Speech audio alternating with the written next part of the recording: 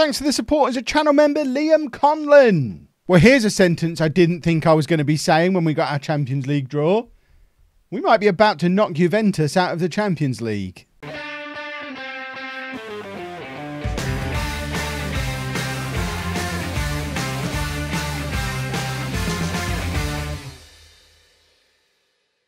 Hello and welcome to part 141 of Bourne Again. I'm Kevin. Coming up on today's episode, we are away against Juventus in our final Champions League group game, and we're at, and we're then at home against Leicester in the Premier League. Since you were last with me, we have been on something of an unbeaten run, although we are starting to draw a few games.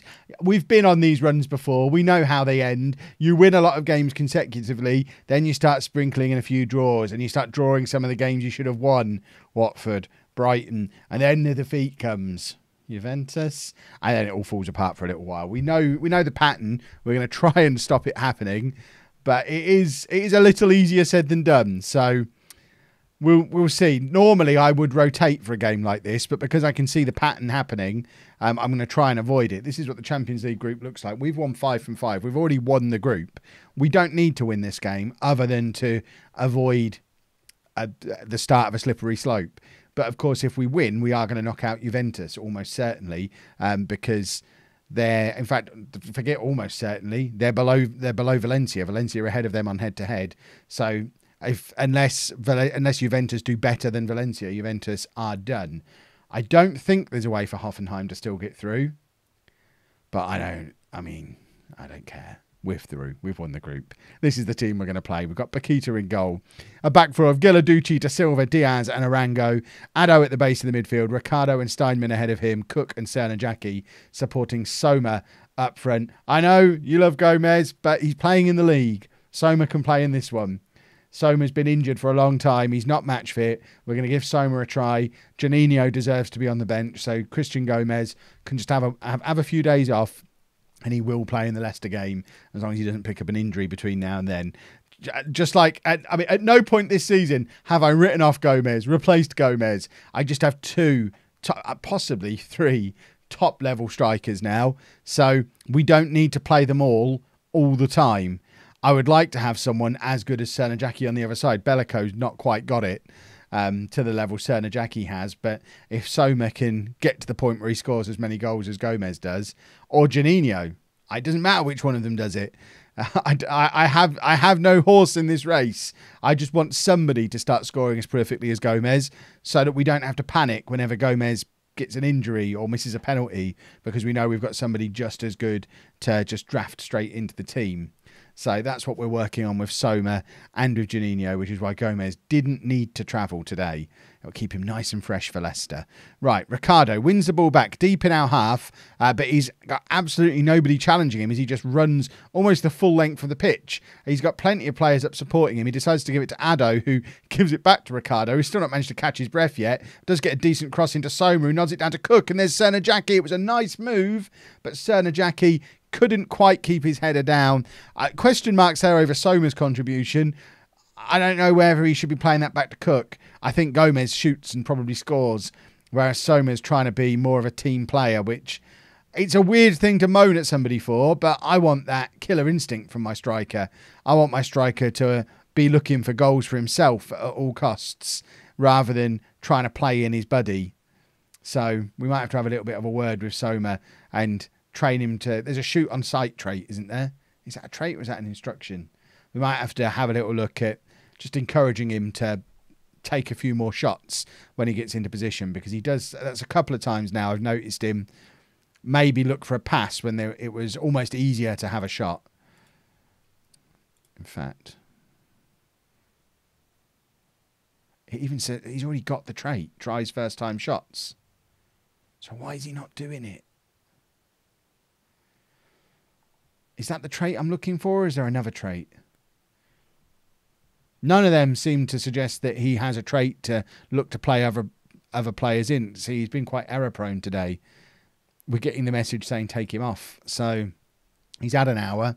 We take him off. Juninho can come on. In fact, in fact, Sebastião can come on. Sebastião has already got a Champions League goal to his name this year.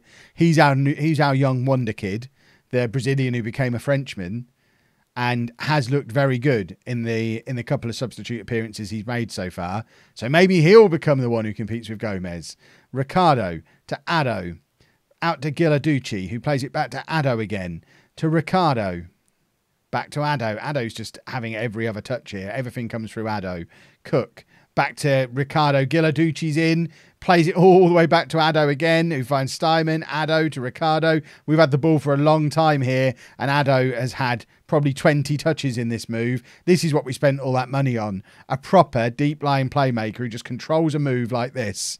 I like having a player who's just going to stand there and do that. And every time we're not sure what to do, just give it back to him, let him decide what to do and pick the right pass. And it just it's a nice way of camping out on the edge of an opponent's penalty area, which often leads to a goal. Right, we're going to bring Juninho on on the left hand side for Cook. Cook hasn't been uh, hasn't been particularly threatening so far today. There's an argument we could have put Ricardo out there and brought on either Sarmiento or Ariel, but I wanted to bring Juninho on. I talked about him all throughout the first half. So let's get him on out wide and try him out there. A lot of you still think Juninho's future is as a winger because of his height making it difficult for him to be a lone striker. Gilarducci plays it back to Addo again, who is looking for options again. Finds Steinman. Steinman and Addo are both running in the wrong direction here. One of them needs to turn and get the ball moving forward. In fact, De Silva's done it for them, and Juninho's in here, and that's a big opportunity for Juninho. That was his. That was the best chance of the game so far to put us ahead. Not that we need to win. A draw is fine. A draw shouldn't cause us to start collapsing. Hopefully, um, we're going to bring Sarmiento on for the final change for Ricardo in central midfield. Um, we're going to ask for some creativity. A draw away against Juventus is always going to be a good result.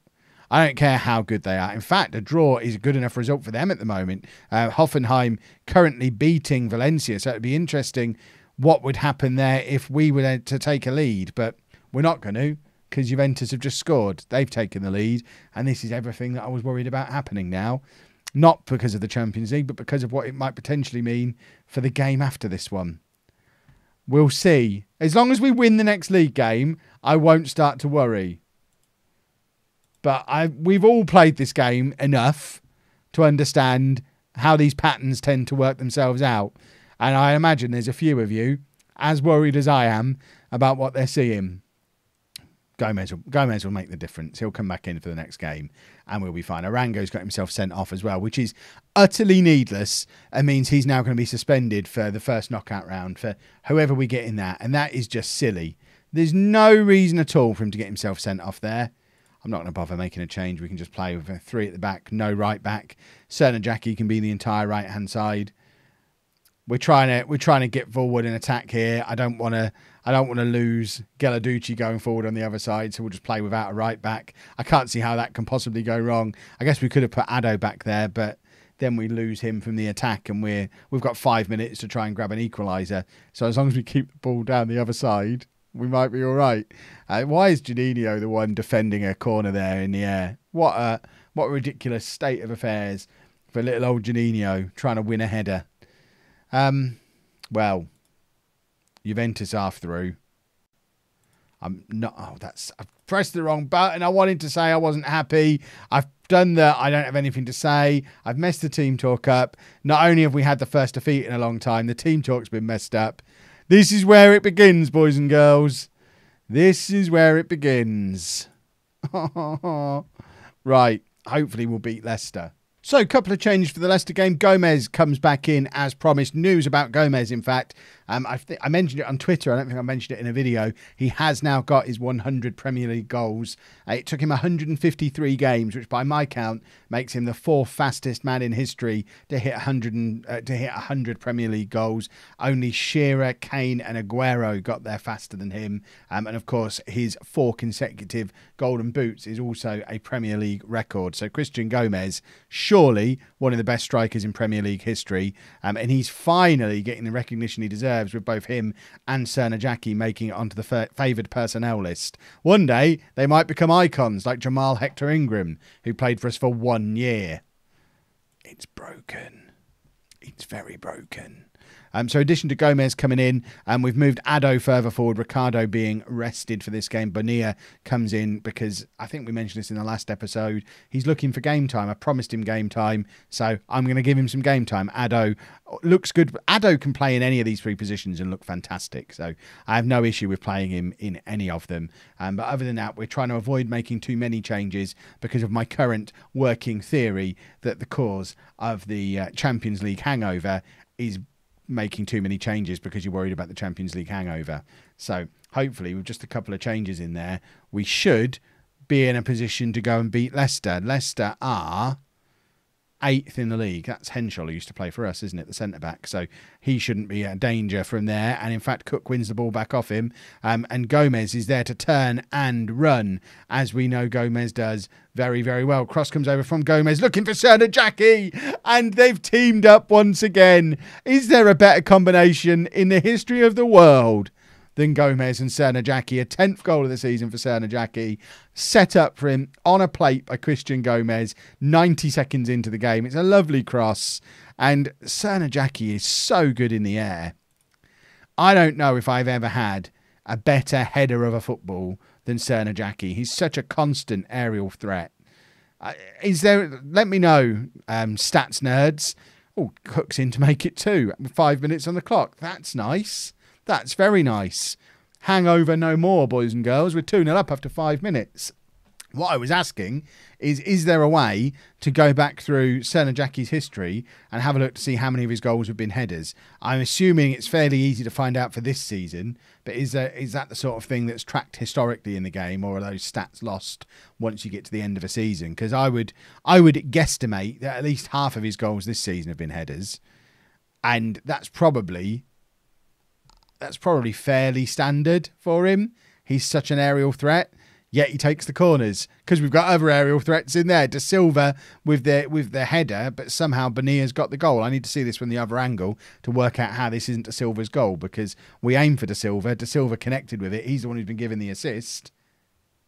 And Bonilla's there on the line, just goal hanging, offside as well, because he was behind the goalkeeper. So there's only the one player between him in the goal line. I'm not really sure how that's not been given offside. I certainly don't understand how he's been given the goal, but he has. Sernajacki's in again with another header from a Gomez cross, and that one goes just wide. We are absolutely rampant today, all over Leicester, and we need to be because that Manchester United and Manchester City are starting to get a little bit of a breakaway going here, and we need to make sure they don't get too far ahead of us. We still are quietly hoping for a league win at some point realistically, it's probably not going to be this season, but you know, it would be nice to be competitive. Gomez is in here, and surely Gomez scores. Of course, he's. How is that offside? Ref, how can you tell from there?